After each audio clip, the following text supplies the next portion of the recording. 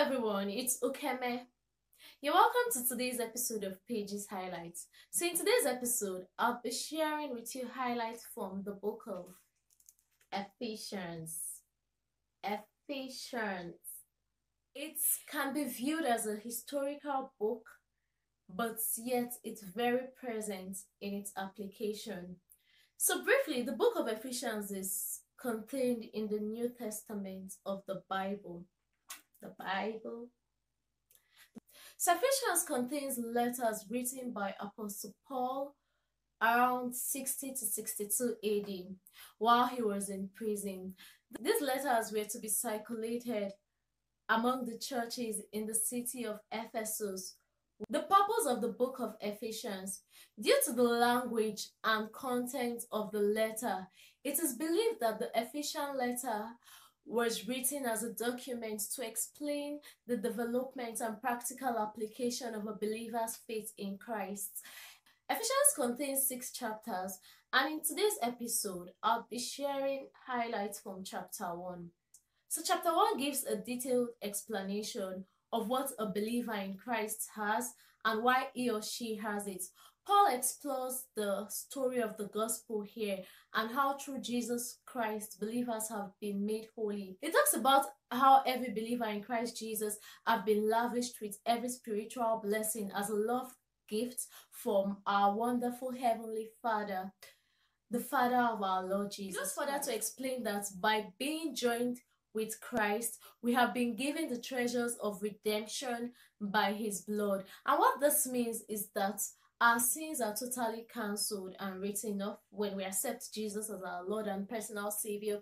Paul enlightens the believers of the abundant grace available to the believers and that this grace is actually capable of releasing within the believer all forms of wisdom and practical understanding. Paul also explores how the gospel story should affect how we live in every area of our life. So, chapter 1 begins with Paul's greeting and emphasizes that he is actually an apostle by the will of God. He then proclaims in summary what has been given to the Ephesian Christians through Christ. So, in Christ Jesus is a major descriptive phrase which was actually used in chapter 1 and it implies a vital union with Christ and just as um, the life of uh, roots is found in the soil, um, believers' true life can be found when they are united with Christ. Major highlights in Ephesians are as follows. Uh, firstly, um, we're accepted into the kingdom of God through Jesus Christ. Um, it's not like we actually did anything to have merited this. It's just basically because of the grace of God and because God loves loves us, we are his beloved and he had already planned this before time. All those who are in Christ partake of his being chosen by the Father. Like before the foundation of the world, God had already ch chosen Christ. So it makes sense to therefore say that all those who are in Christ have also been chosen by the Father God. And so Paul goes ahead to explain in his letter to the Ephesians um, which also applies to us as the children of God. That's just like if you look through a red glass, what you would be seeing would be red. If you look through a green glass, what you'd be seeing would be green. So basically, um, so in a similar way, God sees us through Christ and everything in our lives become covered with the blood of Jesus. We are holy and without blame before Him because of His love expressed through His Son. Another highlight from Ephesians chapter 1 is in verse 6, where Paul explained in his letter, having predestined us into the adoption of the children by Christ to himself according to the good pleasure of his will. Our salvation actually brings pleasure to God when we come into a relationship with Jesus Christ it gives God pleasure because this is his plan. God doesn't want anyone to perish. It's not his will that anyone would perish. So when we come into the salvation experience, we give it gives God pleasure, like so much pleasure. and um he saved us because he loves us it was his good pleasure like it was out of the pleasure of his will to save us. We are so we are wanted we are accepted by the father. We are wanted we are actually accepted by the father. It's just like um a couple going to an orphanage to adopt a child. It's because they want the child. And then when they accept the child when when they actually fulfill all the documentation in adopting the child. They give the child their name okay? They give the child their name. The child becomes their own like their own. They become the parent of the child. And they are not adopting the child out of pity. No it gives them pleasure to actually have this child in their home. So it's more like it gives God pleasure to have us in his kingdom, in his family. He gives us his name. He gives us he gives us his authority. He gives us so there's so much that um the package of salvation actually comes with and it gives God so much pleasure. So that's one of the beautiful highlights I got from Ephesians 1 5 and um, Paul said in his letter, in whom we have redemption through his blood, the forgiveness of sin according to the riches of his grace. So yeah, Paul was saying here that it is through the riches of God's grace that we have received forgiveness for our sins. Okay, there's nothing we can actually do to obtain forgiveness from God apart from actually asking God to forgive us, genuinely confessing our sins and forsaking them and that's the riches that is inherent in God's grace. And because of that grace, we receive forgiveness for our sin. So there's nothing we can do to obtain forgiveness when we confess our sins and forsake them, except to actually humble ourselves and receive forgiveness as a gift through faith in Christ. Like you need to have faith to receive the forgiveness that God has given you. Like just accept that God has forgiven you and begin to work in the newness of life. So it's not until you keep um wallowing in guilt and you just feel like by refusing to accept the forgiveness that God has given you, then you're make you're you're showing God how like how how sad you are and how how bitter you are over your sin no, it's not by refusing. It's actually by accepting that Christ has forgiven you and receiving his forgiveness.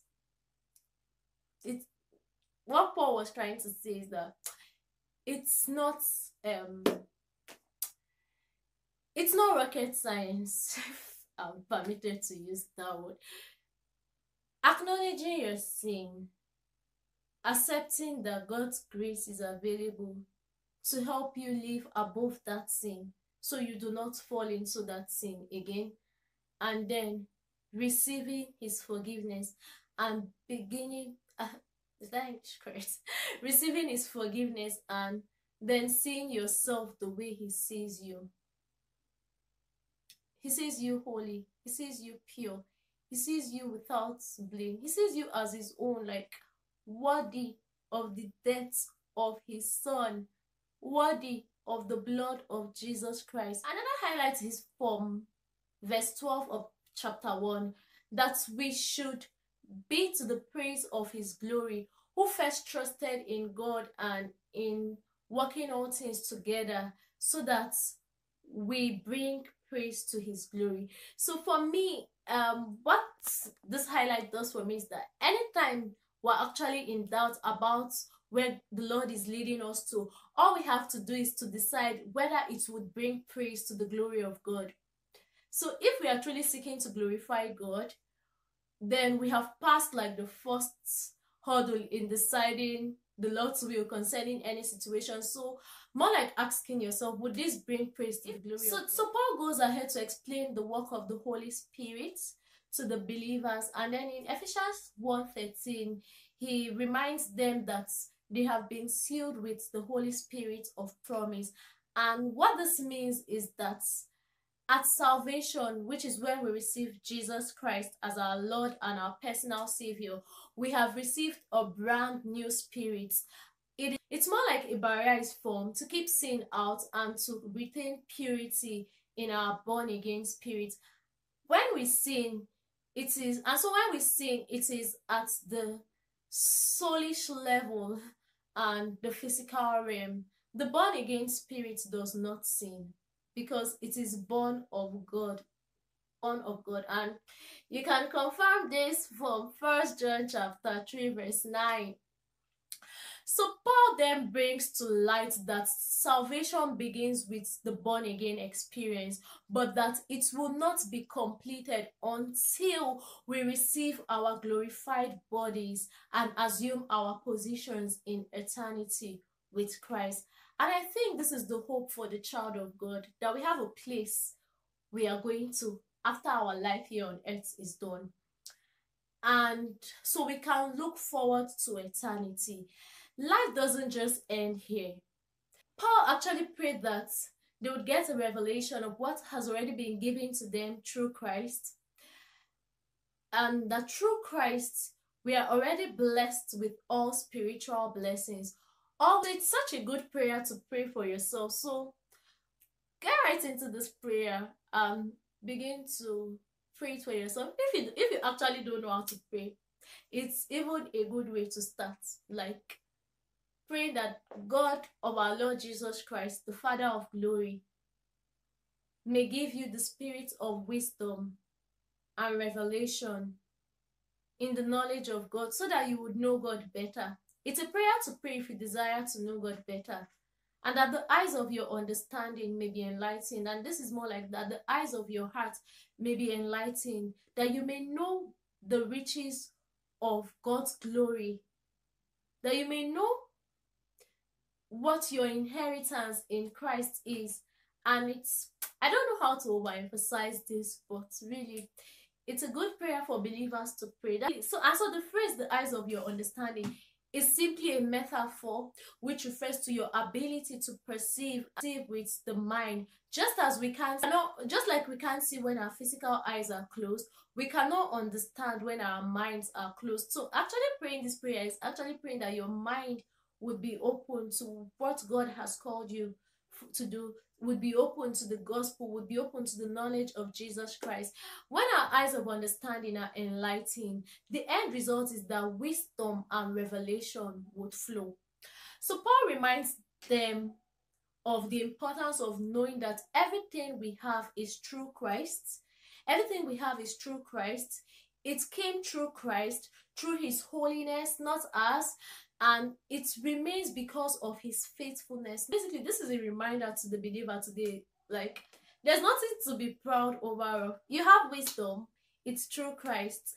You have insight and understanding, it's through Christ. Like, everything we have, everything we can ever be, everything we will ever be, it's through Christ. All comes from Him. It is in Him we live, it is in Him we move, it is in him we have our being. And so when we are when we actually realize this it'll help it's easier it'll be easier to to actually live a humble life. It'll be easier to be humble because you know that there's nothing to be proud of. There's nothing to to be boastful of. Everything you have is through christ. Everything you can ever be is through christ.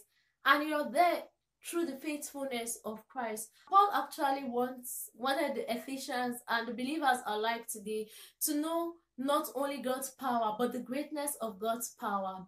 God is infinitely greater in every way, much more than our little minds can comprehend. So Paul prayed that the believers and the church may may be enlightened to the authority that they have by being united with Jesus Christ and he also goes further to remind them that they were seated with Christ in heavenly places. This applies to us. We are seated with Christ in heavenly places, far above all principality and power and might and dominion and every name that is named not only in this world but also in that which is to come. This is so amazing. This power is at work in the believer, and it is the same power that raised up Jesus Christ from the dead. He closes this particular prayer by stating that all things have been placed under the feet of Jesus Christ and that we are members of the body. And as members of the body of Christ, we also have this resurrection power in us. With this, I've come to the end of the study of chapter 1. I hope you found it really um, interesting and insightful as I did. Um, I would recommend the book of Ephesians to every Christian old Christians, new Christians, like irrespective of how long you have been a Christian, and even to intending Christians, people are like people who are not yet Christians, but to also know that this package of salvation is also available to them. Like if you are yet, if you're still in confusion or in doubt about if you should become a child of God, of Ephesians would open your eyes to see all that, all that Jesus Christ has done for you and just know like God is calling you to himself um coming to the knowledge of God would bring so much pleasure to God and it's not so hard. You can just say this prayer like, Lord Jesus, come into my life, forgive my sins, accept me as your own. I confess my sins. I want to be yours. I want to be your child. Accept me as your own. Thank you, Jesus, for forgiving me. And it's that easy. It's just with your confession and by believing and by getting into the study of the word to know what God has called you to do. So yeah, I I really enjoyed studying Ephesians and in my next video, I'll be sharing highlights from chapter 2. I'll also leave in the description some of the resources that were helpful um, in addition to the Bible while I studied Ephesians. And um, if you like and you enjoyed this video, please give it a thumbs up. Give it a thumbs up. And I'd also like to know your thoughts. Like if you've studied Ephesians what were your most exciting verse? Like what was if you've studied Ephesians um what was your most interesting highlight and just share um feel free to comment leave a comment and let's know your thoughts. Let's share our thoughts in the comment section. Subscribe to my channel. I make videos on faith um relationships personal finance and literature. I share interesting highlights from pages because i believe that within the pages of great books insights are found and so thank you for staying tuned and thank you for subscribing to my channel